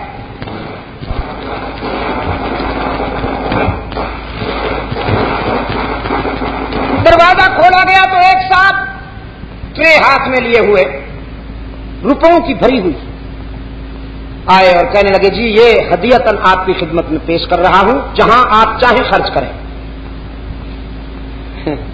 حضرت صاحب نے وہ لے لی، قرض خواہوں کو قرضہ دیا، لڑکے کو حلوے کے پیسے دیے جو بچ گئے وہ اپنے پاس رکھ لیے۔ لوگ کہنے لگے، حضرت، یہ بٹن پہلے ہی دبا دیا ہوتا۔ یہ آدمی جو اب آ گیا ہے ٹرے لے کر پہلے آپ بٹن دبا کے اس کو بلا لیتے، نہ ہم روتے، نہ یہ روتا۔ اتنی بے قراری کے بعد آپ نے کیوں بلایا؟ کہنے لگے، نہ میں نے بٹن دبایا ہے اور نہ میں نے بلایا ہے۔ اصل بات یہ ہے کہ تم جب قرضہ لینے کے لیے میرے پاس آئے، تو میرے پاس تو تھا کچھ نہیں کہ میں تمہیں دیتا۔ اور اللہ سے مانگنے کا سلیقہ نہ مجھے آتا تھا اور نہ میں تمہارے اندر وہ خوب پائی، وہ جوہر پایا کہ تم رو اور اللہ کی رحمت متوجہ ہو۔ میں نے تمہیں جب دیکھا تو تم تو مجھے ایک سے ایک بڑھ کر خوراک نظر آئے، رونے کی کیا توقع کی جا سکتی جب یہ لڑکا گزرا ہے گلی سے تو میں نے یہ ترکیب سوچی، اس سے حلوہ لے لیا جائے۔ اس لیے کہ جب ہم اس کو حلوہ لے کر پیسے نہیں دیں گے تو یہ روئے گا اور اللہ کی رحمت متوجہ ہو جائے گی۔ تو بچے کی رونے کی وجہ سے اللہ کی رحمت متوجہ ہوئی اور اس نے کرم کر دیا۔ میری مشکل بھی آسان ہو گئی، تمہاری مشکل بھی آسان ہو گئی۔ رونے آنسو کبھی رائے گا نہیں جاتے پشاور کے روشن زمیروں تو میں اس لیے عرض کر رہا تھا کہ بغیر کچھ لیے سب کچھ دینے والا کون؟ گناگار کے آنسو اپنی دامن رحمت سے صاف کر لینے والا کون؟ نوجوانوں نے برملا اعلان کر دیا، ربنا رب السماوات والارض۔ اس ظالم بادشاہ نے ان نوجوانوں کی برادری کے کچھ بڑے ملک بھی بلا رکھے تھے۔ قطار میں بیٹھے ہیں۔ وہ بادشاہ کہنے لگا، اپنے برادری کے بڑوں کی بات تو مانو، ان کا مذہب تو نہیں چھوڑنا چاہیے تمہیں۔ لیکن پشاور والوں توحید کا نشہ بھی عجیب نشہ ہے۔ نوجوانوں نے کہا قوم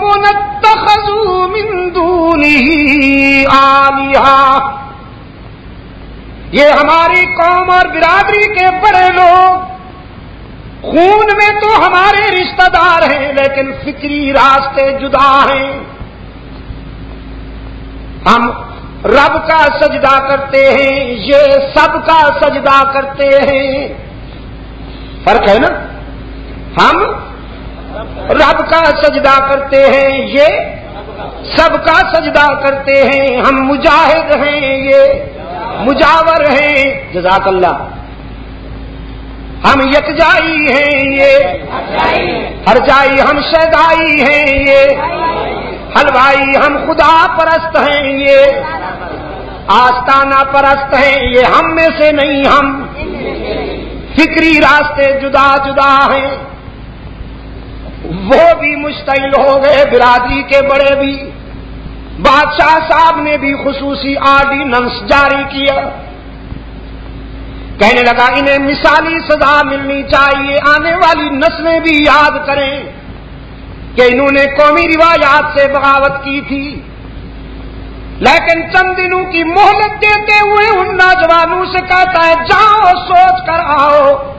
اپنے نقطۂ نظر پہ نظر ثانی کرو یا پھر سزا بھگتنے کے لیے تیار ہو جاؤ۔ قرآن پاک نے فرمایا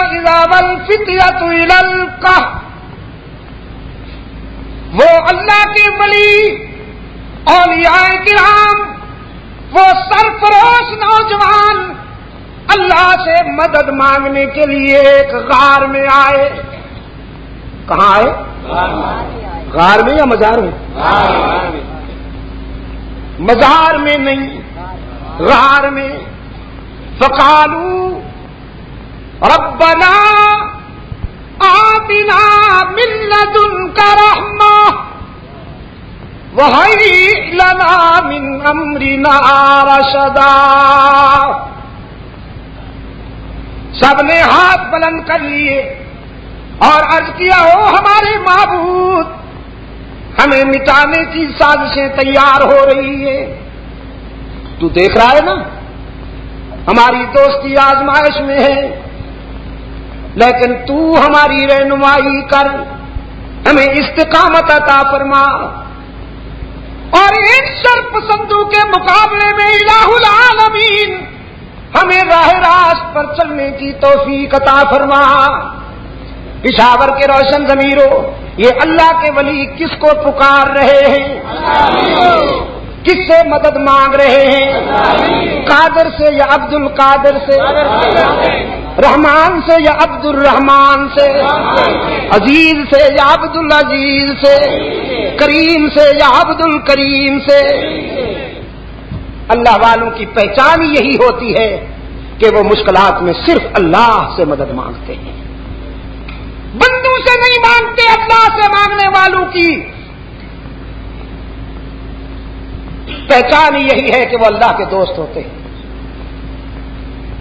رب العالمین نے فرمایا، ہم نے اپنے دوستوں کو اپنے فضل و کرم سے سنبھالا۔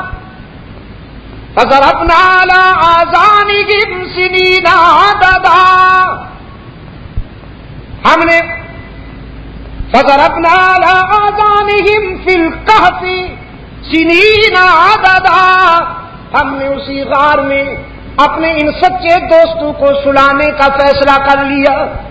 سلانے کا؟ مارنے کا نہیں. سلانے کا فیصلہ کر لیا. وہ تو چند لمحوں کے لیے استراحت کے لیے لیتے تھے اور ہم نے فیصلہ کیا تین سو نو سال تک سلائیں گے. نیند مسلط کر دی گئی. نیند تاری کر دی گئی۔ گھنٹے گزرنے لگے، دن گزرنے لگے، راتیں گزرنے لگی۔ زندہ رہنے کے لیے ہوا ضروری ہے، ہوا کے جھونکے بھی غار میں پہنچائے جا رہے ہیں۔ سورج کی کرنیں ضروری ہیں۔ قرآن کہتا ہے، ابھرتے اور غروب ہوتے ہوئے سورج کو بھی حکم تھا کہ تازہ دم کرنے ذرا میرے دوستوں کے چہروں پہ ڈال کر جایا کرو۔ قرآن پاک نے فرمایا ہم نے اپنے دوستوں کو اس قدر سنبھالا کہ نقلبهم ذات اليمين وذات الشمال۔ ہم تو ان کی کروٹیں بھی خود بدلا کرتے تھے۔ وہ جب بائیں پہلو پہ تھک جاتے تو ہم انہیں دائیں پہلو پہ لٹا دیتے۔ وہ جب دائیں پہلو پہ تھک جاتے تو ہم انہیں بائیں پہلو پر لٹا دیتے۔ گزر گئے تین سو نو سال۔ سلاسبیتن سنینا وزدادو تسا کتنا عرصہ گزر گیا؟ تین سو نو سال۔ کزالی کا باس نہ ہوں الو قرآن کہتا ہے، اب ہم نے انہیں اٹھایا تاکہ صورت حال واضح ہو۔ قال قائل منهم كم لبستم قالوا لبسنا يوما او بعض يوم۔ ان میں سے ایک نے پوچھا کتنی دیر سوئے ہو؟ کہنے لگے، آج تو بڑی غفلت ہو گئی ہے، پورا دن سوئے ہیں یا دن کا اکثر حصہ سوئے ہیں؟ لبسنا یومن او بعض یوم۔ اب اس پر بحث ہونے لگی۔ کچھ کا اصرار تھا، پورا دن سوئے ہیں۔ کچھ کا اصرار تھا نہیں، کچھ حصہ سوئے ہیں۔ بحث ہونے لگی۔ کالو رب کم آلم بیمان تم تو فیصلہ کلے جے میں کہنے لگے، بحث و تکرار کی کیا ضرورت ہے؟ جس نے سلایا تھا وہی جانتا ہے۔ ہم کیوں تکرار کریں؟ سلانے والے کو معلوم ہے کہ کتنی دیر سوئے ہیں۔ فباسو احد کم بیواری کی کم مدینہ بھوک لگی ہے؟ کھانا لینے کے لیے ایک آدمی کو ذرا بھیجو، وہ کھانا لے آئے۔ نہیں لگی تو تین سو سال نہیں لگی اور لگی ہے تو نقد لگ گئی ہے۔ آگے بڑھنے سے پہلے کچھ بسائر و عبر ہیں، ان پر تذکرہ کرتا چلا جاؤں۔ غار میں سونے والے، اللہ کے سچے ولی، اللہ کے برگزیدہ بندے۔ کتنی دیر سوئے ہیں؟ جلدی جلدی سے۔ تین سو نو سال۔ لیکن جب پوچھا گیا کم لبس تم تو جواب دیا دن یا دن کا کچھ حصہ۔ معلوم ہے انہیں کہ کتنی دیر سوئے ہیں؟ معلوم ہوا معلوم ہوا کہ اولیاء اللہ کے سچے دوست غیب دان نہیں ہوتے۔ وہی جانتے ہیں جو اللہ انہیں بتائے اور جو اللہ نہ بتائے وہ نہیں جانتے۔ دوسری مصیبت کی بات۔ تین سو نو سال تک سوئے ہیں۔ یہ تو سو رہے تھے لیکن کائنات تو نہیں سو رہی تھی۔ نظام کائنات تو جاری و ساری تھا۔ پرندے بھی چہکتے رہے۔ طوفان بھی گرجتے رہے۔ بادل بھی اور بجلیاں بھی کڑکتی رہیں۔ انسانی قافلے گزرتے اور شور کرتے رہے۔ بعد سر سر کی تغیانیاں بھی چلتی رہی لیکن کسی آواز نے انہیں ڈسٹرب نہیں کیا۔ کوئی آواز انہوں نے نہیں سنی۔ یہ فوت ہو چکے تھے یا زندہ تھے؟ تو زندہ ولی کچھ نہیں سن رہے۔ ڈھکوسلے باز ملا سے پوچھو، تم مردوں کو سب کچھ سناتے پھرتے ہو؟ بلکہ سناتے ہی نہیں ارشاد ہوتا ہے ان کے پاس تو ایکس رے کی مشین بھی ہوتی ہے۔ جب کوئی ولی کی قبر پہ پرندہ آ بیٹھے تو اس کو پتہ چل جاتا ہے کہ یہ چڑیا ہے یا چڑا ہے۔ مردہ ہو یا زندہ وہی سنتا ہے جسے اللہ سنائے۔ آپ کے ہاں تو یہ فتنے بہت کم ہیں، اللہ ہمیشہ کم رکھے۔ اللہ ختم ہی کر دے ان فتنوں کو۔ ادھر ہمارے پنج آب میں وہاں تو اس پر دھواں دھار تقریریں ہوتی تھی بڑا عجیب ذوق پایا ہے پنجابیوں نے۔ میں کہا کرتا ہوں یہ فرنٹیئر والے مرغے اور بٹیر لڑاتے ہیں، پنجاب والے مولوی لڑاتے ہیں۔ ایک پارٹی نے ایک مولوی منگوا لیا، وہ ان کو مشرق کرا دے گیا، دوسری نے دوسرا منگوا لیا، وہ ان کو کافر کرا دے گیا اور پبلک فری سٹائل دیکھتی ہے، انہیں مزہ آتا ہے۔ میرے عزیز دوست ایک نوجوان کو بھیجتے ہیں شہر رقیب سے کھانا لے کے آؤ۔ لیکن تاکید کرتے فل تاما پہلی بات تو یہ کہ بھیک نہیں مانگنی۔ پیسے لے کر جاؤ، کھانا خرید کر لے آؤ۔ کہ اللہ والے کبھی بھیک؟ ہاں یہ پاکستان کے اللہ والے ہیں۔ صبح اٹھتے ہی دروازے پہ نظر اللہ نیاز حسین۔ پیسے کڈو جی۔ اور اب تو یوں مانگتے گور کے یوں دیکھتے ہیں کہ اگر آپ نے پیسے نہ دیے تو جیسے بغل میں کلاشن کوف لے کے کھڑے۔ یوں آتے نہیں قریب یہ خاص توجہ ہوتی ہے چرچ پی رکھی ہوتی ہے نا۔ ہاں۔ اس کا نشہ ہوتا ہے آنکھیں سرخ ہوتی ہیں۔ یعنی اگر آپ نے نہ دیا تو ادھر سے ریوالور میں نے کہا، یہ منگتا ہے یا ہائی جیکر ہے؟ فرمایا پل از کا کھانا لیتے وقت بھی ذرا احتیاط سے کام لینا، کسی مشرق بیمان کے ہاتھوں سے بنا ہوا کھانا نہ لے کے آ جانا۔ مفہد کے ہاتھوں سے بنا ہوا کھانا لاؤ۔ یہ نوجوان شہر میں پہنچا۔ شہر والے اس کو غور سے دیکھتے ہیں۔ یہ شہر والوں کو غور سے دیکھتا ہے۔ ایک ہوٹل والے پر حسن زن کرتے ہوئے اس کے چہرے پر ایمان کی روشنی دیکھ کر قریب گیا۔ سکہ دیتے ہوئے کہنے لگا، کھانا چاہیے۔ پیسے لو اور کھانا دو۔ ہوٹل والے نے جب سکہ دیکھا تو تین سو سال پرانا تھا۔ دکیانوس بادشاہ کی اس پر مہر تھی۔ وہ کہنے لگا، میاں، یہ تو پرانا سکہ ہے، رائج الوقت سکہ لاؤ۔ یہ تو تین سو سال پرانا ہے، متروک ہو چکا۔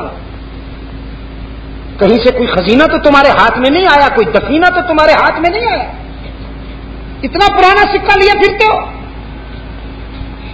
وہ نوجوان کہنے لگا، کل ہم یہاں سے جا رہے ہیں اور آج تم کہتے تین سو سال پرانا ہو گیا ہے اسکرو تو نہیں، ڈھیلے ہو گئے تمہارے، دماغ ٹھیک ہے تمہارا؟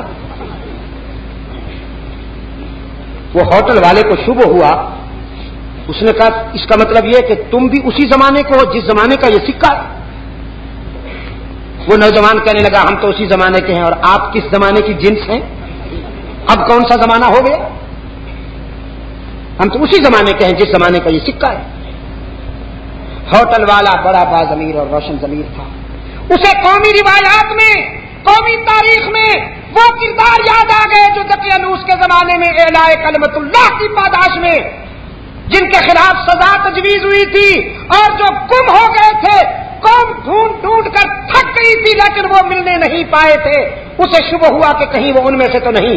ہاتھ پکڑ کر نوجوان کا کہتا ہے، کہیں تم ان میں سے تو نہیں ہو جنہوں نے دقیانوس کے زمانہ میں اللہ کی توحید کا پرچم اونچا کیا تھا اور شرک کے خلاف جہاد کیا تھا۔ وہ نوجوان کہتے ہیں ہاں الحمدللہ، ہم وہی ہیں۔ تو کیا اب زمانہ بدل گیا؟ اس نے کہا تین سو سال گزر گئے، نہ دکیا لوس رہا، نہ اس کا اقتدار رہا، نہ اس کے وہ عقائد رہے۔ اب تو الحمدللہ ایک مرد مومن برسر اقتدار ہے۔ وہ خدا شناس ہے آبد شب زندہ دار ہے۔ قوم کو بھی اللہ نے آپ کی جد جہد کے نتیجے میں اللہ نے فضل کیا ہے کہ قوم کو بھی اللہ نے صحیح عقیدہ عطا کیا ہے۔ جب یہ نوجوان پکڑا گیا این اسی وقت بادشاہ جو تھا، سجدے میں اللہ کے حضور رو رو کر دعائیں کر رہا تھا۔ الہ العالمین، کچھ لوگوں کو موت کے بعد زندہ اٹھنے کی حقیقت سمجھ میں نہیں آ رہی۔ وہ کہتے ہیں، مر جائیں گے، خاک میں مل جائیں گے، کون اٹھتا ہے؟ الہ العالمین، اپنی طرف سے کوئی ایسی دلیل اور برہان عطا فرما کہ تیرے ان بندوں کو بات سمجھ میں آ جائے۔ این اسی وقت اس نوجوان کو قوم پکڑ کے لائی۔ بادشاہ کے مسکن کے باہر شور بلند ہوا۔ اس نے دیکھا کہ قوم آئی ہوئی ہے، ایک نوجوان کو پکڑ رکھا ہے۔ جب اس نے صورت حال سنی تو سمجھ گیا کہ اللہ کی طرف سے برہان آ گیا۔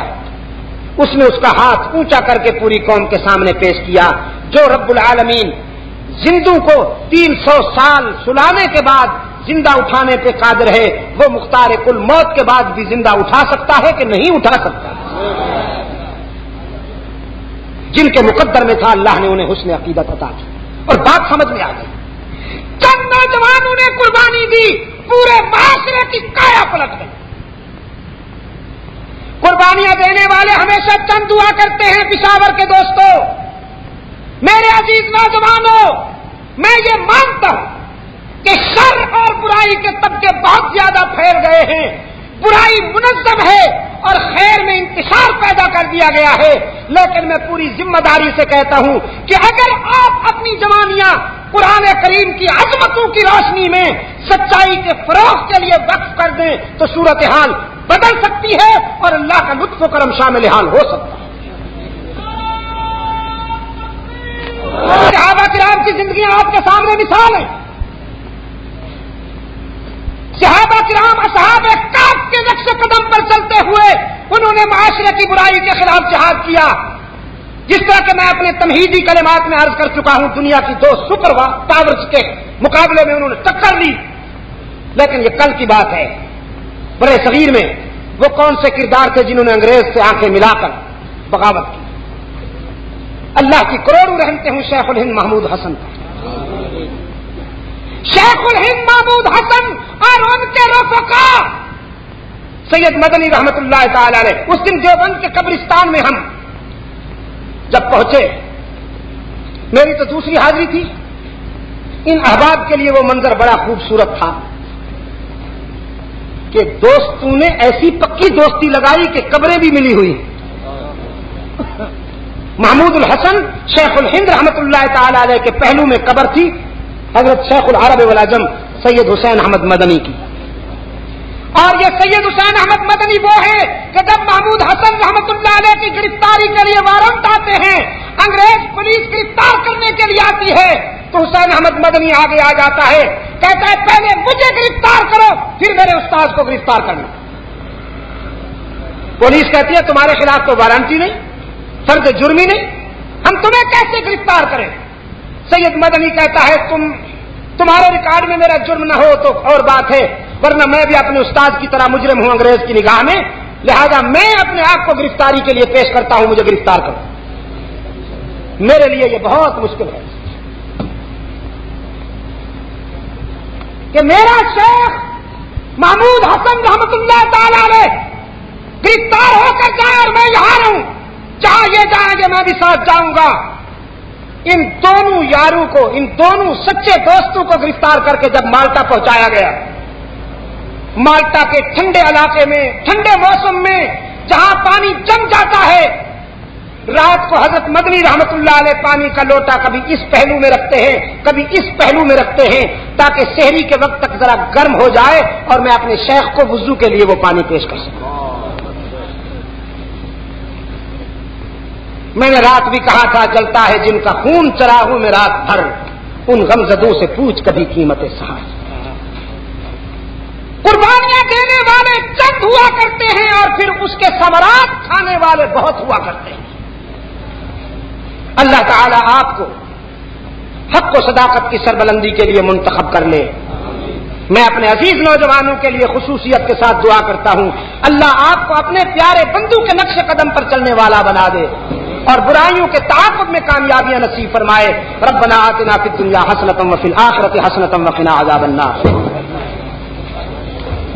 پیغام حق و صداقت کے چند نسخے۔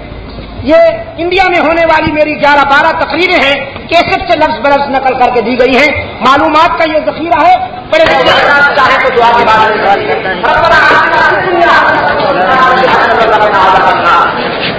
اللہ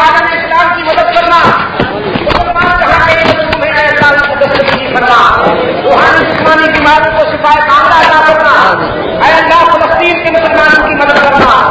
افغانستان کے مسلمانوں کی مدد کرنا۔ بڑے شریف کے مسلمانوں کی مدد کرنا۔ پاکستان میں سب کے نظام کے تقریر کے لیے اے اللہ، ہم سب کو اشتہار کے ساتھ